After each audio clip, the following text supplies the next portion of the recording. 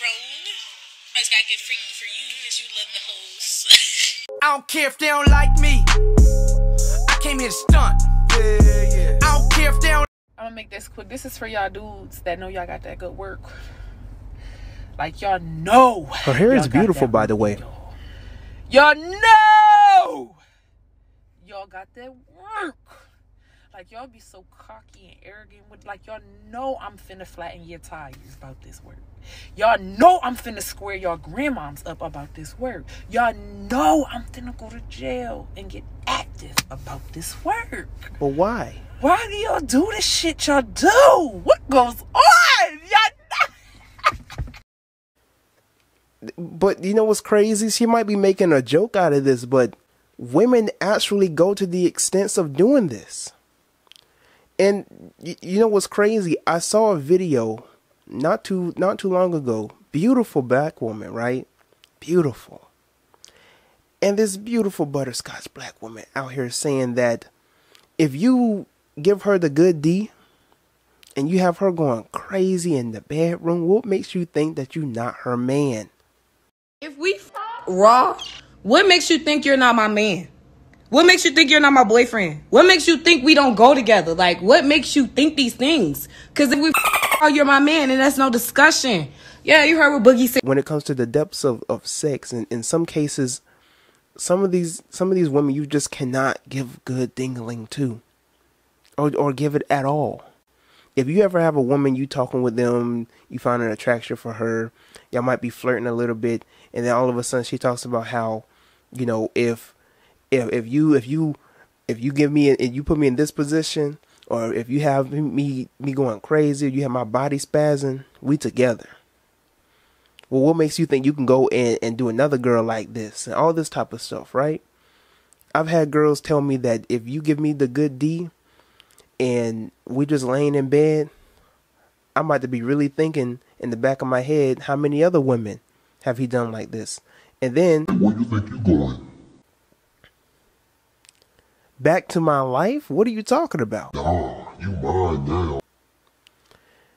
this stuff is crazy. I'm beginning to see why some of these women out here dressing like Chucky because a lot of y'all just crazy. Some of y'all are psychopathic and y'all need psychological evaluation. It makes no sense how some of these women claim they're so more mature than than men.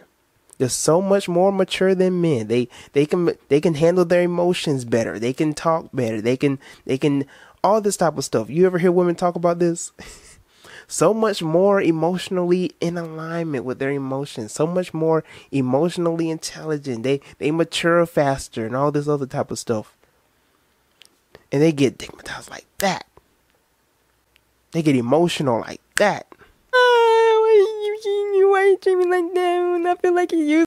Y'all, y'all clearly made an exchange for your poom poom for his dingaling, and somehow you crying yourself at night because y'all have made it very well known that y'all are just messing with each other because y'all might have a friendship here and there and for the sex.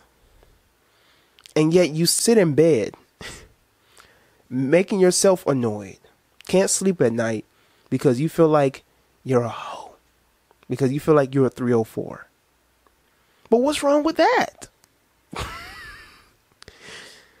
Now I know that might be a little controversial, so we'll we'll we'll, we'll back it down a little bit. When it comes to you being in a relationship with another dude, or when it comes to you having this exchange with another dude, and y'all made it very well and very well known that y'all just have this relationship, now it gets to the point where you might be catching feelings. Man, just just beating the doonies up, just blowing the back out, just got your your your back your back out here he he got your back he got your back looking like this. Like he just bam, bam, bam, bam, bam. He over here just just grabbing the neck. He over here pulling your hair. Bang, bang, bang, bang, bang, bang. You having flashbacks. Twelve o'clock in the afternoon while you at work.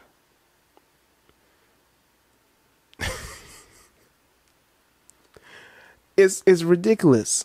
And now you over here like, why won't he cuff me? Why won't he be in a relationship with me? Because y'all have exchanged, or, or y'all made it very well known in the beginning what the relationship was going to be like. Now, sometimes it might work out. Y'all might be in a relationship, whatever the case may be. But if the man intentions was just for getting some poom poom, you can't expect more from that. You know, I always have this conversation with a, good- a good couple of, of women when it concerns the basis of being sexually expressive and sexually free. Some women out here have gotten the memo of what it means to be sexually expressive, right? Some women out here they want to be a 304, but they want to be a, a clean and a classy 304. Do so. You know how many classy 304s there are out here without using the word 304? You know how many women out here just just masquerade themselves as this beautiful angel, innocent, just ew, sex. I don't even think about that. Ew, I don't even touch myself. And they'll just be the nastiest. I guarantee you, the women and fellas, y'all can attest to this. But the most freakiest women aren't the women out here shaking ass on Instagram. It's the ones with the cute little church dress and all the with the cross around their neck. That's the demon. That's the demon. That's the succubus. But we'll save that conversation for another time for another day. Point is, a lot of women don't know their own potential and their own power to the point where they can live their best life. You know, they can get as much dingling as they so desire and still play it classy, still be clean, still take care of their health. They won't be, just be letting, don't let anybody just up in there. All right. I ain't saying all that. Getting ran through. But you have the potential to know your own power and live the way that you want to live, to embody that archetype of being the 304. You know, and I, I talk about this in my exclusive content concerning the basis of the, you know, the divine archetype of heart. All right, so y'all want to know more about that? Y'all become a fan or y'all become a, a, a member, and y'all get that information. But you do have women out here who are a bit insecure, you know, when it concerns the basis of having their back blown out by more than one man. You have a lot of women out here who feel like they're going to be judged because, let's just be honest, in this world, if a man, you know, sluts out five, six women in one month, he gets the daps up. He gets called the pimp, the Mac. Oh, he get, he get all the women, all this type of stuff, right? People look up to him. But if a woman does the same thing within a month, and we're just going to be honest, people are going to side eye her. People are going to overlook her. If her body count is a little too high, but it's the woman that might have the most body count that might be the most sincere, that might be the might be the most down to heart, might have the most the most potential. But you'll overlook her because of her past. This is the Mary Magdalene story. You know, with Jesus. Jesus loved a 304. Most of the women that he was around was a 304. His mother was a 304. But that's for the Gnosticism content. We'll save that for the exclusive. Jesus loved the 304. Shiva, he loved the 304. Papa Legba loves the 304s. I'm just I'm just keeping it real. Ask Pomba Gira. That's my girl. But let me know how you feel about this personally in the comment section below, all right? When it concerns the basis of, you know, giving the ping ping to some of these women out here. You know, let me share your thoughts, fellas. Ladies, share your comments as well in the comment section below respectfully. All right. And before you go, check out these other videos.